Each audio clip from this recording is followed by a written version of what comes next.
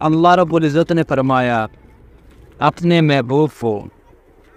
ऐ मेरे महबूब, अगर तू चाहे तो ओहद पहाड़ को सोने का बना दो और आपके साथ साथ चले।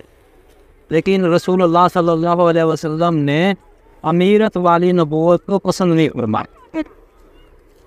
तो हाजी सबानी सी पहाड़ के ऊपर अल्लाह के हबीब तशरीफ़ ले गए थे ओहद की जंग से पहले। तीन सनाबा कराम आप इस नास्ते मैंने आपको वाक़ बताया तो हाजी सबान जंग के दौरान।